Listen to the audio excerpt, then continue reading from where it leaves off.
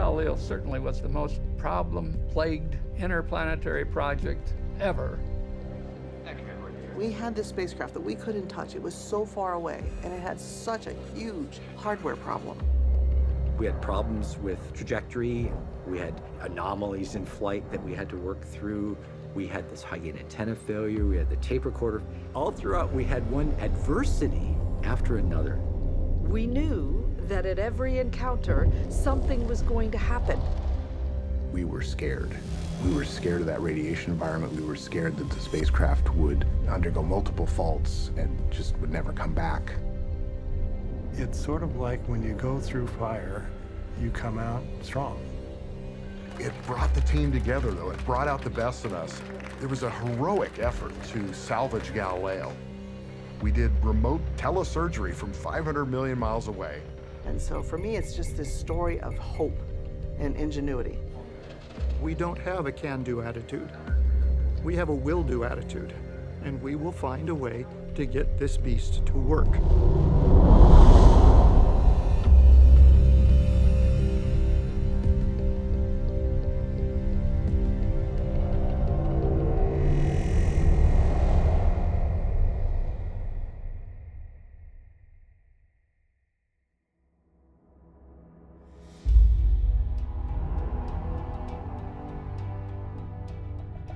By the late 1980s, an armada of NASA spacecraft was sailing across the solar system. Two of the most distant were the Voyagers. Their reconnaissance of the outer planets had set the stage for the first orbiting missions to Jupiter and Saturn that would also be built and flown by NASA's Jet Propulsion Laboratory in Pasadena, California. The first to fly was Galileo, destined for Jupiter. If any spacecraft could be said to have had nine lives, it was this mission. More than once, Galileo barely survived the budget axe. After the loss of the Space Shuttle Challenger, Galileo was stowed away, mothballed for three and a half years.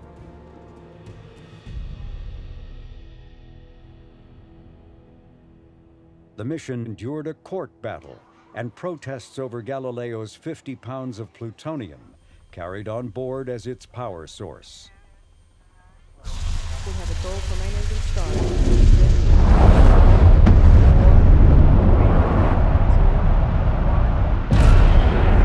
And liftoff of Atlantis, the Galileo spacecraft bound for Jupiter. Roger roll, Atlantis.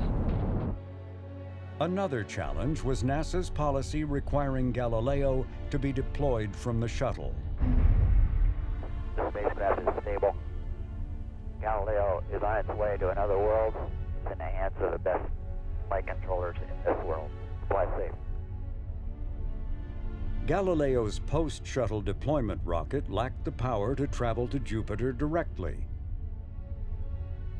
To gain enough acceleration, JPL navigators cleverly charted out a gravity assist at Venus and two by Earth. That meant that Galileo would have to start off headed in the opposite direction from its intended destination. To reach the giant planet in this way would take six years. The two Voyager brief encounters with the planet's innermost moons had already revealed a surprising amount of diversity that scientists were eager to explore further. And then there was Jupiter itself. Understanding how it had formed might hold clues as to how the entire solar system came into being. But after the first Earth flyby, Galileo had its first crisis. The spacecraft's main antenna had refused to deploy, putting the entire mission in jeopardy. We have overwhelming evidence that the flight antenna is in this configuration. We had three stuck ribs on the, the one side that we just couldn't get out of the sockets. That was a big deal. It looked like things were over. I mean, we're going down from a 10 foot antenna to something the size of a coffee can, And we got no idea how we can send down the data that we wanted to send down until we started working the problem. First, it's try it again, try it harder, hit it a few times, and then people started going with the wild ideas of, hey, let's turn it away from the sun and cool it down. And let's put the sun right on the antenna and see if we can warm it up. So we had years of doing these warming and cooling turns and trying out things. Nothing worked. In desperation, there began a search for a different kind of solution, one based not on hardware, but software. The mainstream activity at that point were people who were concerned with, okay, the antenna didn't open, let's make it open. I had a different view of this. Everything on a spacecraft works except for the antenna. Is there some way we can do this mission without that antenna? Because everything else is fine. And we just started brainstorming.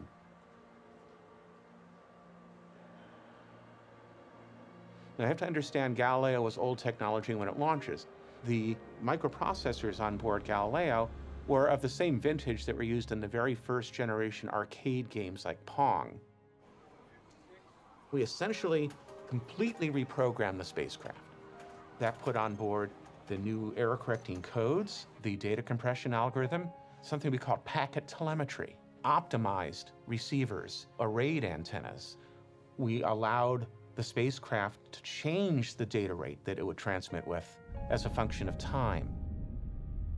This software transformation was likened to a complete brain transplant, performed at a distance of 400 million miles. So what we'll do is we'll load these extended memories first, and then we'll switch over to operate on them. Again, I'm simplifying a little bit. Then we'll copy. It wasn't a solution, it was many solutions. I mean, there were solutions in the spacecraft software, there were solutions in the instrument software. Then we'll copy into the standard memory the new flight software, and then we'll. It was an incredible learning experience for me to go through this process to see how people can be so responsive and creative in the face of a, a serious anomaly. We are working both of these issues in all of our. The solution required using the spacecraft's less powerful low gain antenna that was working to slowly transmit data. Data that first had to be stored on what was even then old technology a reel to reel recorder. All hope rested on these thin layers of magnetic tape. All of the team, the family, never quit. It was very difficult to get Galileo going, and uh, there, there could have been a lot of infighting. Well, if we can't get all of this, I'm going to get my piece of that. But everybody hung together, they didn't quit, and it worked. The antenna crisis and others that would follow brought the Galileo team together in a way that made them feel like a family. The antenna opener, or AO as the engineers called it, was rejected early on in the project's history because of its. And believing it better to laugh than cry, they found a way in private to make light of their travails. One of our prime targets, of course, was management. and uh, it, it, was a way of letting off steam and, um, uh, you know, sort of cementing personal relationships throughout uh, by exaggerating a little bit. I'm here with uh, Galileo project manager who's reporting on plans for cold turn number 23. Sir, could you give us your assessment of the chances you'll get the antenna open this time? This time we're uh, uh, sure that uh, the, the chances are pretty good that we think we know, um, probabilistically at least, that it's not expected that we uh, won't fail to better understand the problem successfully. Um, now let me uh, show you. Oh, thank you. Thank you, sir. now let's hear from our spacecraft directly. All of us would contribute to writing songs. And the reason it was so important to us is because it was very cathartic to sit there and, you know, figure out how to make our struggles into, you know, some funny song parody. Well, bless my soul, what's wrong with me? Three of my ribs, just a creep. The brackets got a little bit snug on them pins. I'm all hung up. Mm-hmm. Yeah. And so we ended up calling ourselves the Galileo Not Ready for Real Time Players. I flew past Earth and it felt so fine. Better than a ride in a bumpy truck with them pins. Hmm. It really was a great stress reliever because we made fun of everybody and everything. But talk like that don't ease my mind. Gotta get some sun where the sun don't shine. Our number one goal was to be as funny as we possibly could. Um, you know, musical musicality was really a, a, a tertiary concern.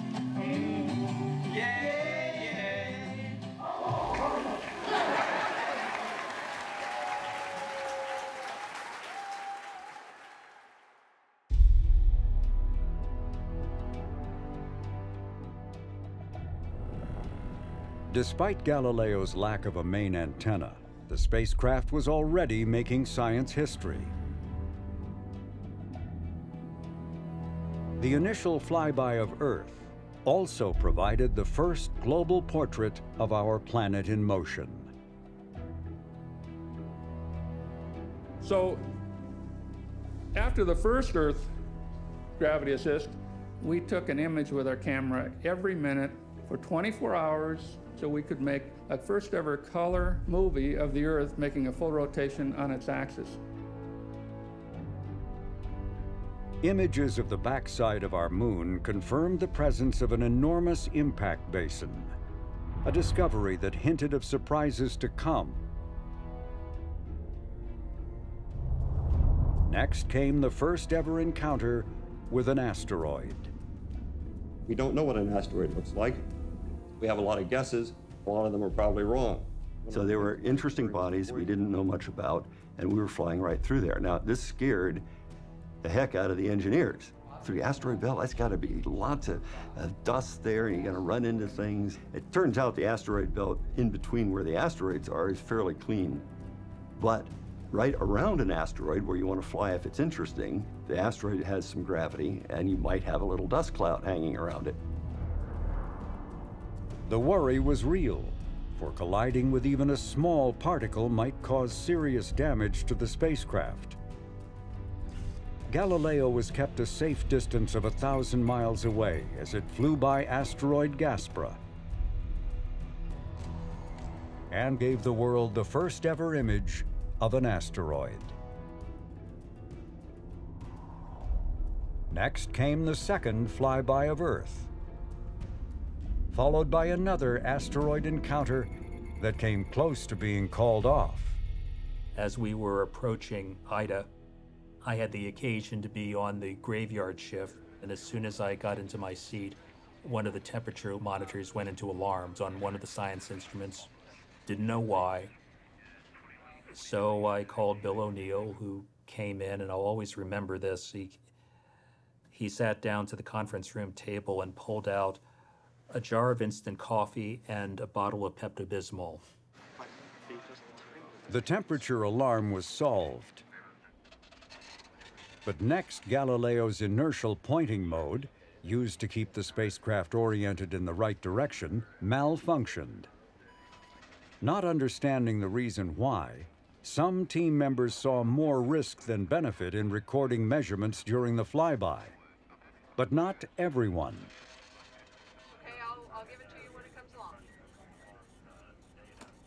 We didn't know what the problem was, but we knew that we could do the flyby. We could still point the scan platform and all the instruments using just the star tracker.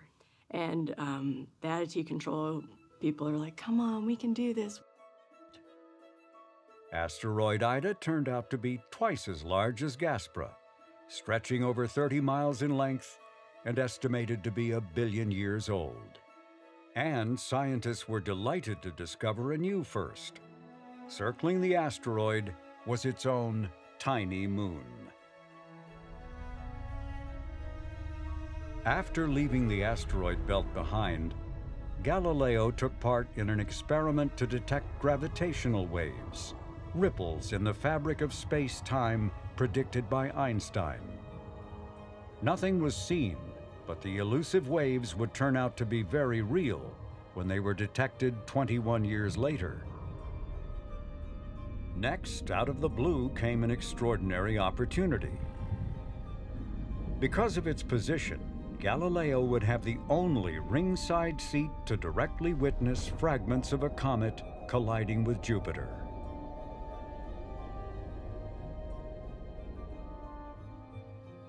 This is a totally new event. The first time in the history of civilization, we are seeing an impact of a comet into a planet.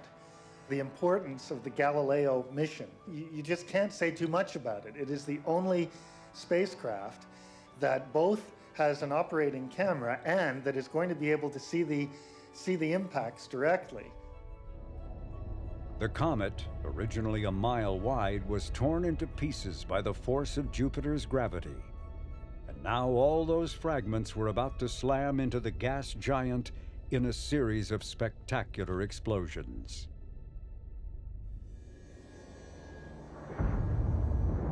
Over the course of six days, the fragments, one after another, plowed into Jupiter's southern hemisphere, exploding into massive fireballs, rising upwards more than a thousand miles.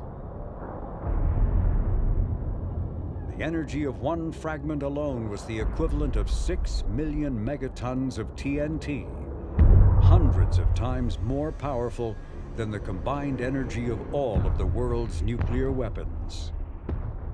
My first thought was disbelief.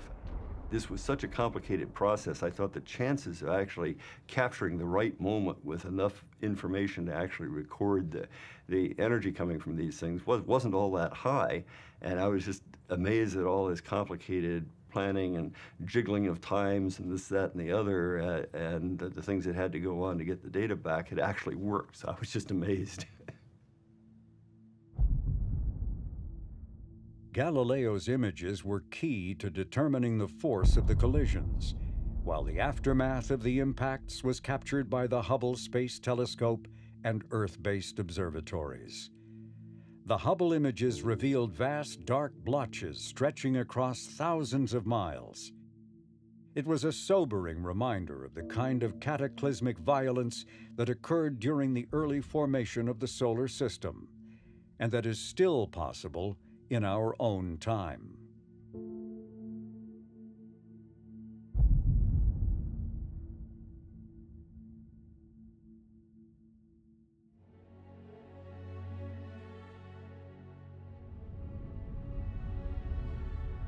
Galileo was also carrying a passenger. A probe designed by NASA's Ames Research Center and built by Hughes Aircraft. The probe was designed to separate from the mothership five months before Galileo's arrival at Jupiter. It would then freefall for 50 million miles on what would have to be a precise and no second chance trajectory to reach Jupiter. If all went well with the navigation, the probe would then slam into the planet at over 100,000 miles per hour, the highest impact speed ever attempted by a human-made object. The angle of the entry had to be near perfect also. Too steep and the probe would be incinerated. Too shallow, it would bounce off Jupiter's atmosphere like a stone skipping across a cosmic pond. Two minutes into descent, the probe's speed would be reduced to just 1,000 miles per hour, slow enough for a parachute to deploy.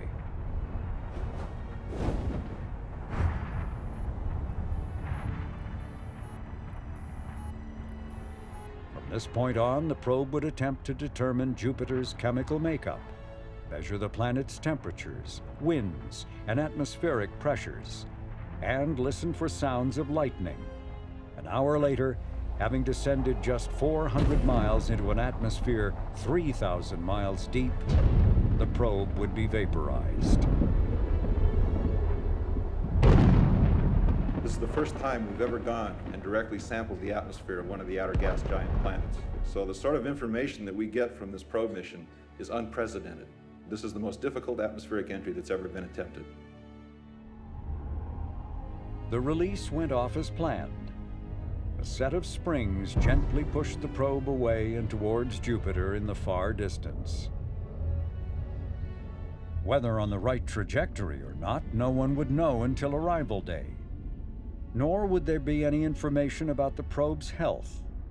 To save its battery, the probe would have to coast in deep sleep and radio silence.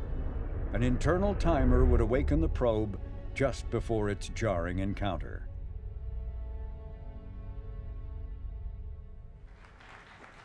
Despite the uncertainties, rather than fret on the eve of release, friends, family, and mission members gathered again in JPL's auditorium to learn the latest on the mission. Okay, good evening. We're going to start the program now. I hope you guys in the back. And to hear, as was by now the tradition, from the not ready for real time players.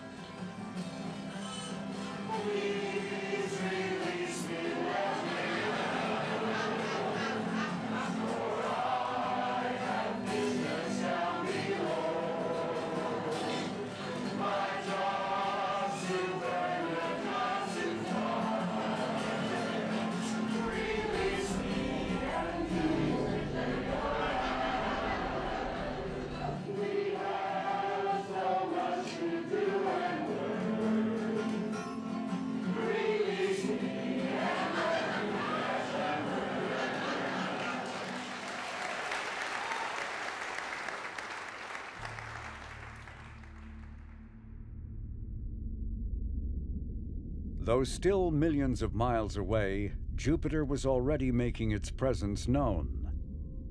Galileo found itself plowing through an interplanetary dust storm.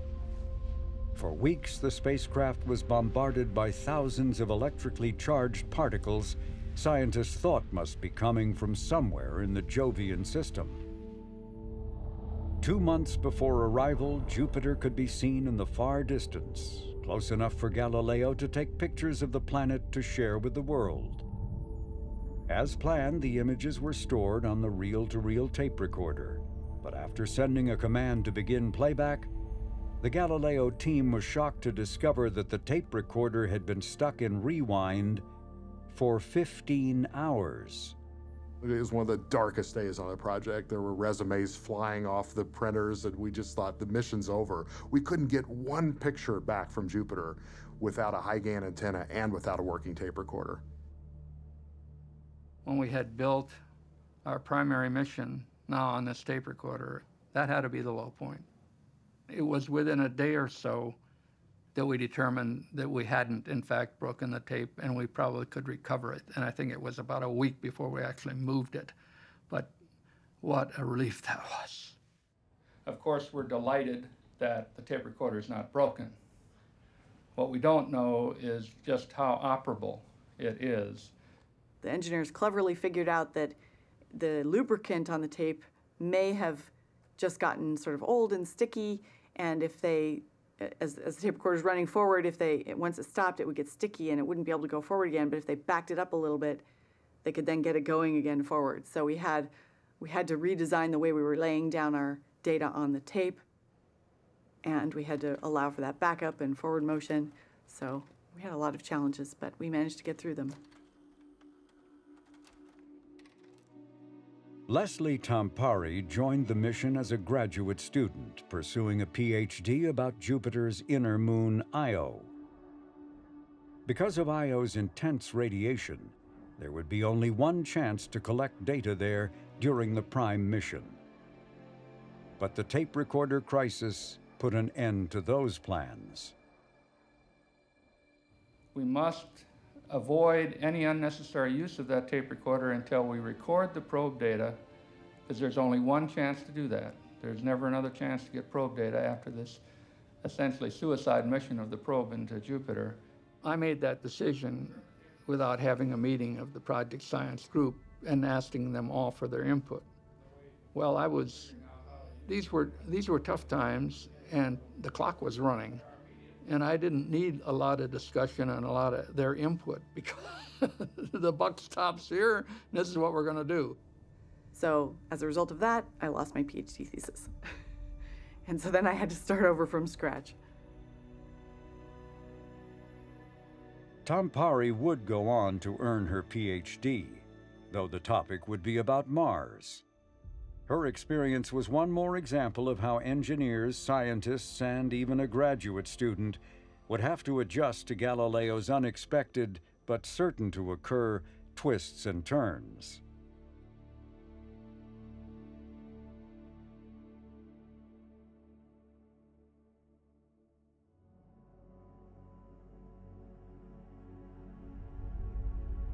Jupiter is immense, a world large enough to contain more than a thousand Earths.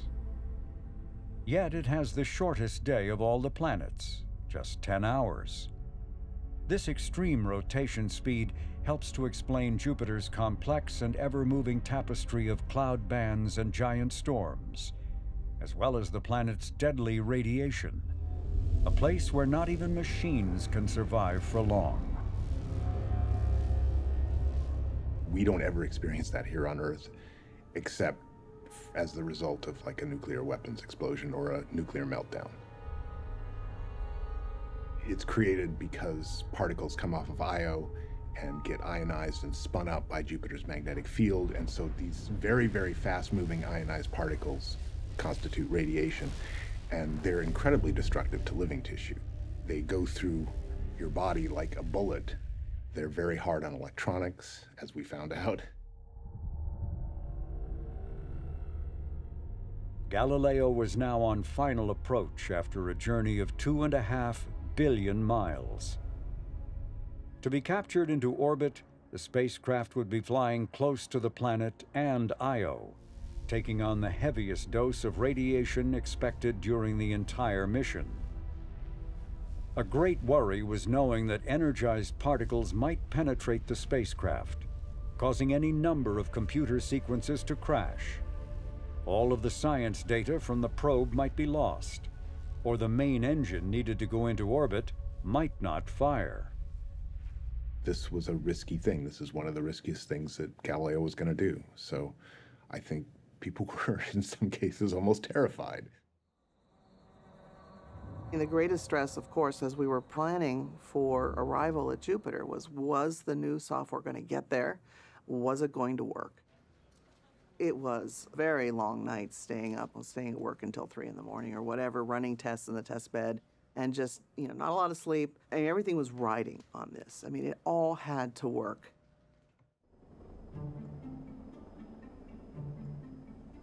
December 7th, 1995 was arrival day.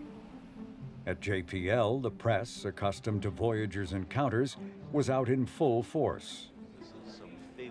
They would be busy reporting on whether the probe survived atmospheric entry, and if so, would Galileo be successful in capturing the probe's precious data? And then, would the main engine fire to put the spacecraft into orbit? One critical event would follow another, and yet, while this would be the mission's busiest day, there was actually very little anyone could do. On the day itself, it's all pre-canned, it's loaded in spacecraft memory. There's nothing we can do about it. If we find out that something is not going to work, it's going to be 45 minutes getting the signal from the spacecraft saying help back to the Earth us looking at that data, scratching our heads, figuring out what's wrong, figuring out what to do to correct it, and then it would be another 45 minutes getting a signal back to the spacecraft, and an hour and a half later, it's too late to do anything. There was nothing we could do except twiddle our thumbs and sweat and chew antacids. And unlike Voyager encounters, there would be no images to see in real time. The most the overflow crowd of guests could expect would be to know they would be the first to hear of Galileo's success or failure. Everybody really wanted to find out as soon as possible whether the probe had worked. The mission design people actually figured out a way to get one bit back. We were all waiting for one ping. Galileo orbiter is a mere one and a half Jupiter radii away from the planet and has just reached its closest approach. Galileo was kind of an odd event. in that we were used to this giant picture show with, with Voyager. And because of the antenna problems we had on Galileo, we knew it was going to be very, very restricted. We had all these people there to host, and we had to kind of fill in, um, give them something. Okay, uh, anything going on at the MSA yet? Um, we can look at that again. Uh, they're still very, very patient. And hopefully uh, later on in the day, people will be cheering, uh, but maybe not. We had people in a fishbowl, basically, or uh, an aquarium. Uh, there was a glass window, and they were enclosed in this box. And uh, in those days, we had no live audio. We, we'd actually call them up on the phone, and they they talked to us over a phone. It was it was a really kind of a crazy way to do that. We're listening and we're watching, and uh, there's the man. I'm Come sweating. On, Bill. Do your stuff. We put our management in a room where they weren't supposed to be bugging us. I see the data come down. Some of us are like, yes, this looks good, but don't react. We're we're very much told don't react on camera, you know. Right, right. It's just the same.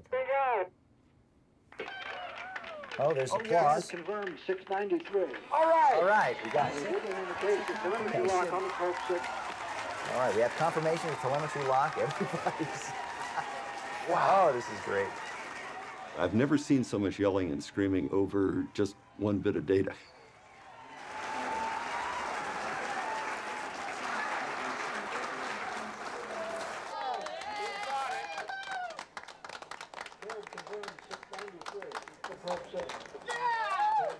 The probe made it.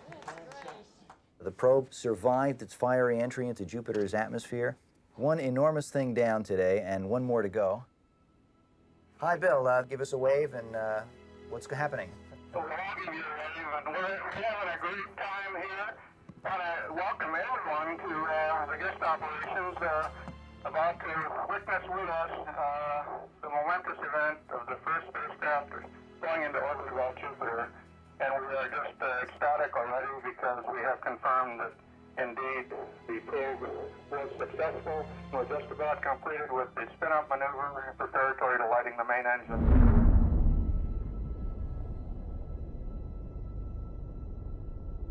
It's a 49 minute burn. But, uh, I mean, if we, if we burn for 40 minutes, would we still be happy?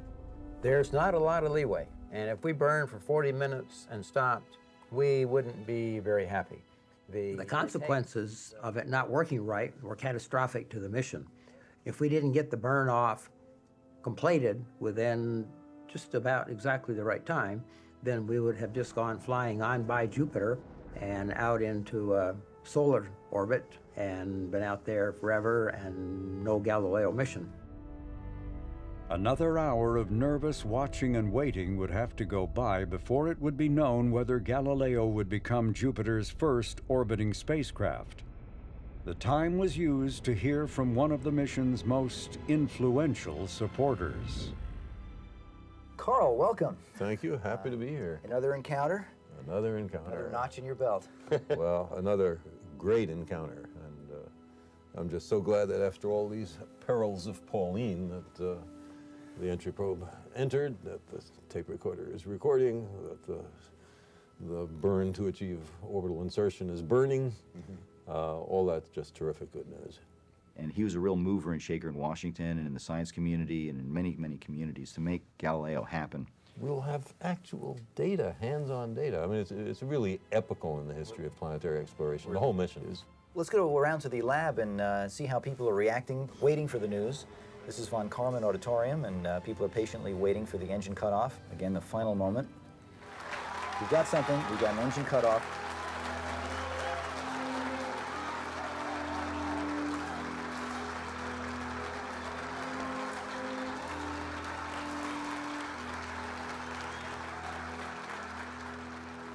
the day of arrival, the, all the events of the day of arrival, all rolled into one. I mean, that that was the absolute ultimate. That was spectacular. That everything worked properly. Uh, it is my distinct pleasure to declare not only are we in orbit, but we're in a very good orbit.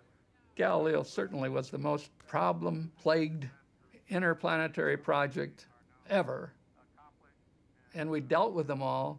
I guess we got our reward because on the day of arrival, everything clicked. A lot of the questions we get are, uh, you know, is Galileo going to search for life? Uh, what are the prospects of, uh, of, of, life in the Jovian system? And maybe you can give us a little bit of a uh, perspective on that. Where might we look? Uh, the uh, possible subsurface ocean of Europa is a very interesting environment. If there's liquid water, while we're not going to send some part of Galileo down subsurface, there's a very good chance of elucidating much better our knowledge of uh, what's happening on Europa. The bittersweet part of that is that Carl passed away about a year later. And that was one of the last times, it was the last time, I guess, he was at JPL. Galileo is going to do wonders. And in just this last few months, there has been a credible uh, announcement of a discovery of another Jupiter like planet around a very different star, 51 Pegasi. That's right. And so what we're doing here is not just studying the Jupiter in our system, but in a certain sense, the whole category of Jupiters, of which, if the 51 Pegasi discovery is right, there must be an enormous number uh, around nearby stars. So there's a whole new genre, category of, uh, of things to explore. It's an epical time in the history of human exploration.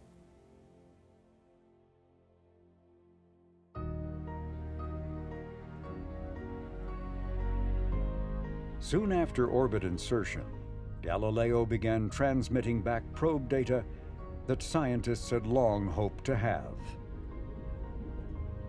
Now, why do we want to go to Jupiter? Because it tells us how the sun and planets formed from the early solar nebula, the original gas and dust cloud from which all the planets formed. Probably you all know that Jupiter is the largest planet in the solar system. The analogy I always like to make is that if you took a tomato, we sort of sampled the skin of the tomato. But we learned some very important things. The findings were, as described in the NASA press release, startling, as they ran counter and at times contradicted some long held assumptions. And this arrow points to the probe entry site. Instead of a distinct three tiered cloud structure, there was only one. Temperatures were higher than projected, and winds were clocked at twice the anticipated speed. An expected swarm of super bolts of lightning went missing, except for a single horizontal line in an upper latitude of the planet. There was almost no lightning occurring down anywhere else on the planet. Nor did Jupiter's chemical composition match that of the Sun, as was assumed. But what we found out from Galileo is that's not really the case. The most puzzling finding, though, was the lack of H2O. So that's been a major surprise, that the amount of water is so depleted. And that's really hard to understand. As it turned out, what happened is we probably went down into a feature that looks very much like this. This is probably a hole in the upper cloud layers of Jupiter. And what we're looking at here is what's called, quote, a hotspot. The clouds that we experienced there are not typical of Jupiter as a planet. That was sort of a minus. The probe had descended through an area lacking in clouds. Scientists called it a meteorological anomaly, a way of saying the probe had, by chance, hit a dry hole, representing just 1% of Jupiter's atmospheric possibilities. It led one scientist to quip, we need more probes.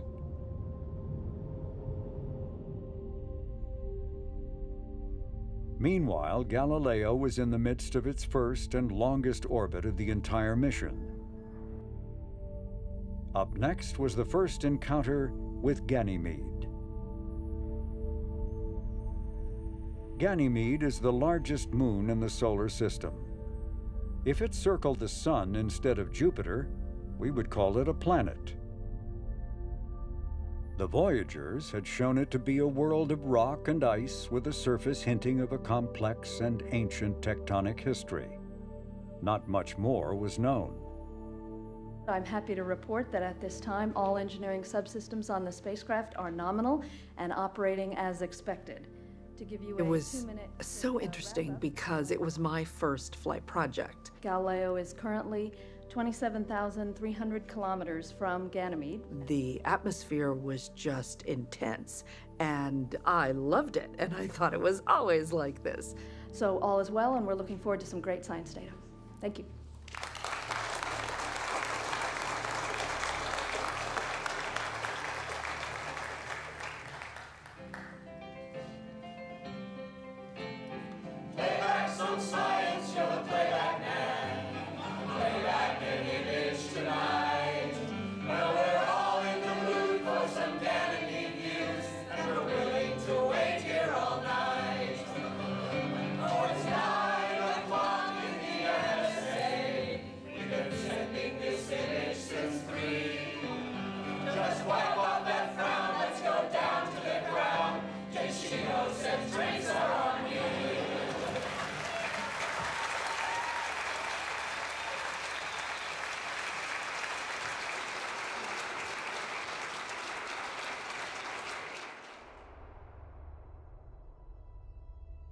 Got some major surprises almost off the bat. We got images of the surface at high resolution. We- We found that it had distinctly different types of terrain, some of it very young geologically, with very few craters on it, but lots of ridges and cracks on it. From the beginning, one of its objectives was to look for magnetic fields in these moons. The theory says, well, probably, you know, it's not, not, not a huge rocky object, probably not hot inside, so it's probably not producing a, a hot molten core like the Earth to produce a dynamo effect. Ganymede had a magnetic field.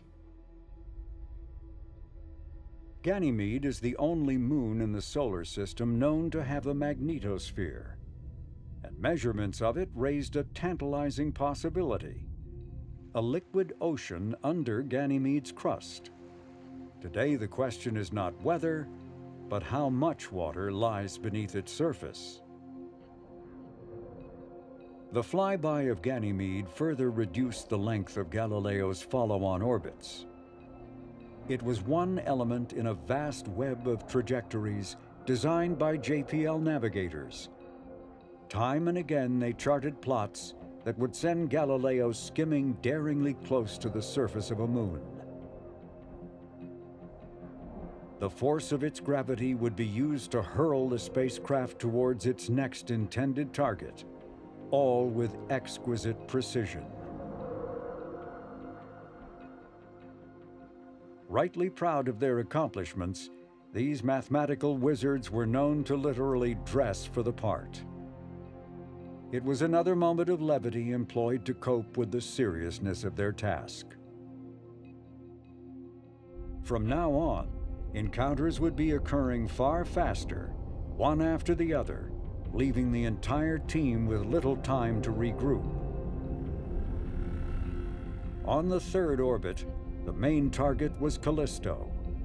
Here may be the oldest landscape in the solar system, a surface four billion years old and littered with scars left by tens of thousands of impacts. Callisto, very ancient surface, and once again we had a surprise. It wasn't just ancient and cratered, the whole surface seemed to be kind of buried in dark rubble, and no evidence of a magnetic field there either. The Callisto flyby also marked the mission's first use of a technique of lashing together an intercontinental network of giant antennas. Listening in this way, the amount of data that could be captured was increased by a factor of 10.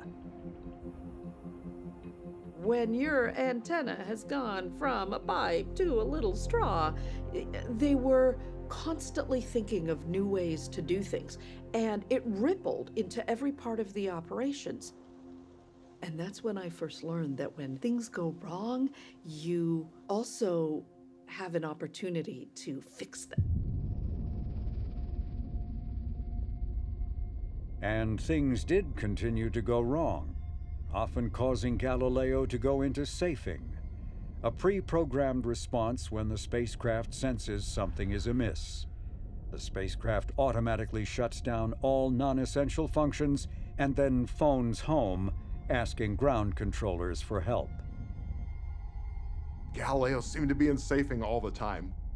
One of the big challenges there, it was a spun despun spacecraft. So the top half spun at three revolutions per minute, and the bottom half with the cameras was fixed.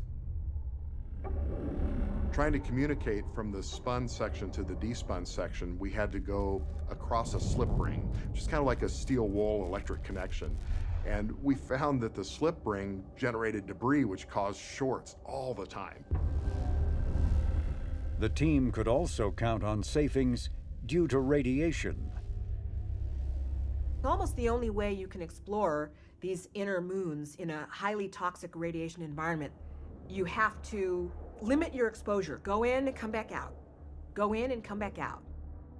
Each new orbit added to the accumulation of radiation exposure. Just how much the spacecraft could withstand before its electronics would fry and cease to work, no one knew. And where scientists most wanted to go was in close to Jupiter, to places like Io, where radiation was most dangerous. But the risk was worth it, for what Galileo witnessed at Io is almost hard to imagine. Here is a place where hundreds of volcanoes are constantly erupting. These fireworks are due to Io's location. It is caught in a tug of war between Jupiter, Europa, and Ganymede. This back and forth gravitational pull distorts Io's shape, causing extreme heating in the moon's interior. Unable to contain itself, Io erupts with massive walls of lava and plumes shooting upwards into space. We uh, flew by Io, and uh, we were expecting to fly by one volcanic plume uh, from the volcano Tvashtar that we knew about from a previous orbit. And uh, we realized that the next flyby, the spacecraft was going to go through the edges of that plume. And what we didn't know was that before that next flyby, another volcano erupted, had a gigantic plume 500 kilometers high, and Galileo went right through it. So with Io, it was difficult to plan because you might plan to avoid one volcanic plume, but you didn't know you were going to fly through another one that had never been seen before.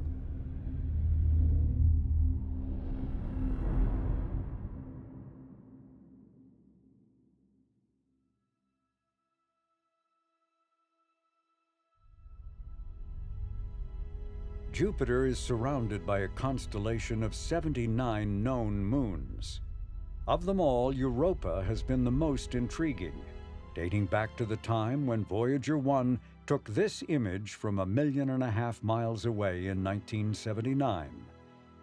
Here appeared to be an unusually smooth and young surface, devoid of craters.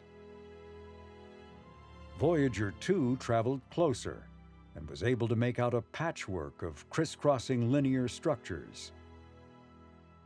Galileo's images would be even more detailed and far more revealing. Europa was, I think, anybody's superstar of the Galileo mission. Just the first couple of encounters with Europa with Galileo just kind of blew us away. We found a region where it looked like pieces had broken off, like an iceberg, and drifts in a watery body and, and twists. People who study the Arctic recognize some of these floating patterns as clearly an area where the underneath was liquid. Some of these rafts of ice were the size of cities. There were also indications of ice flows and the possibility that water had even flowed on the surface, all pointing to the existence of a subsurface ocean.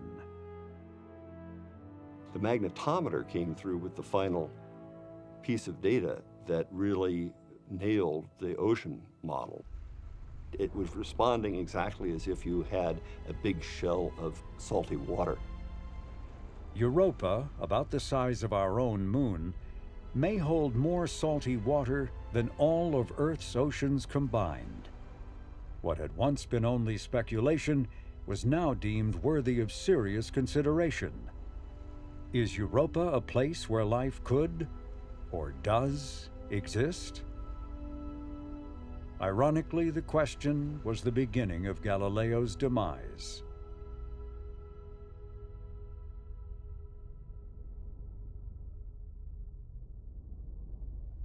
So we came up with the plan to basically ram it into Jupiter and sterilize it with the energy of the impact. It's something that I still second guess myself about was was there, there another way? But the problem was the vehicle was getting old. It was having failures. And we couldn't wait too long or we lose the opportunity. So we tried to figure out the perfect time to do it. And I guess we may have been a little conservative, but not by much. With its fuel tank nearly empty, and knowing the spacecraft could possibly have on board microscopic life from Earth, Galileo was put on a collision course with Jupiter to eliminate any chance of colliding with Europa.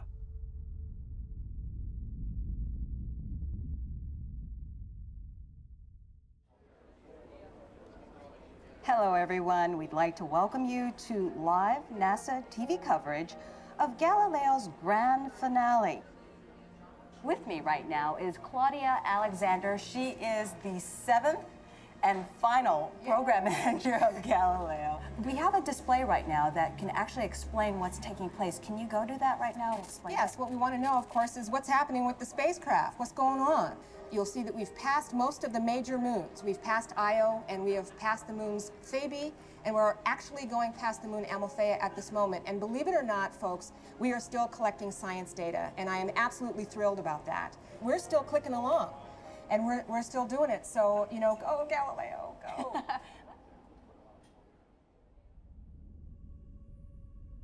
It was very sad.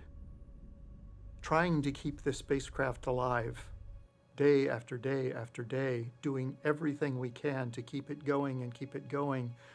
And now we know that we have deliberately told it to take a dive into Jupiter and evaporate and never be seen again.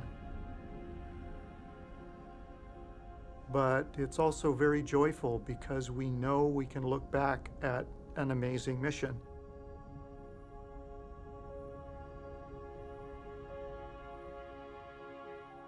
Among Galileo's firsts was delivering a probe to measure Jupiter's atmosphere. Galileo was also the first to conduct long-term observations of the Jovian system, finding evidence of subsurface water on Europa, Ganymede, and Callisto, while adding new knowledge about Io, the most volcanically active place in the solar system. Galileo was also the first to fly by an asteroid, the first to discover a moon of an asteroid, and the first to see a comet hit a planet.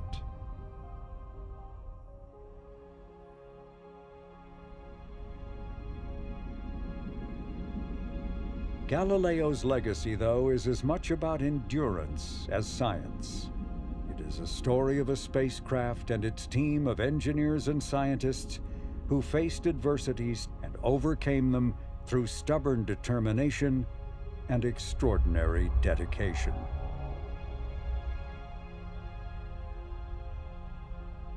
we all still talk about Galileo with a smile on our face. And I, I, think of it as, you know, it's like your first love, you know, and you know, I, I use your first love and your first child, and there's just sense of, of, of all of these great people. When you think about the spacecraft itself, it might be tempting to think of the pieces of metal that are its constituent parts. But for me, the ideas that it has given us will remain, and follow-up ideas, what we want to do now that we know so much from the mission, will be its legacy. So for me, the mission is much more than steel and titanium. So the final moments, there's a small group of us sitting in the main control room at JPL here and watching the radio signal as it finally vanishes. There were a couple people who were crying. I, I remember Claudia Alexander, who is not with us anymore, was standing right there, and she just reached over and gave me a great big hug.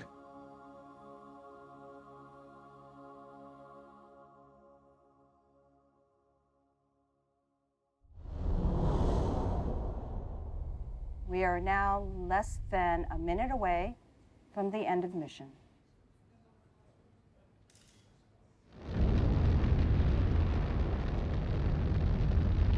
They are counting down here in space flight operations. The final moment in a great mission, Galileo is gone.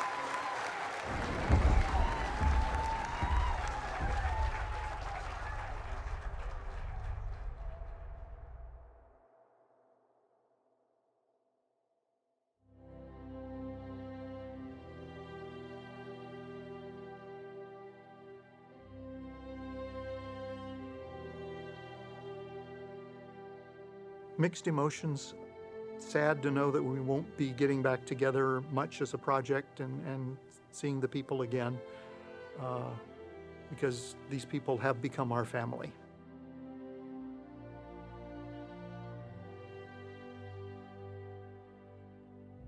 We care about each other. We've seen marriages and children and divorces and deaths. These people are incredibly important to you. And it's sad that you won't be sharing these experiences anymore with them and, and getting together and writing clever songs to poke fun at the next thing that comes along. Uh, good afternoon, friends and colleagues, and welcome to the first annual farewell performance of the Not Ready for Real Time Players. In Von Karman, we got up there and I know I broke down in the middle of that. I think I'm starting to do that now, just remembering it.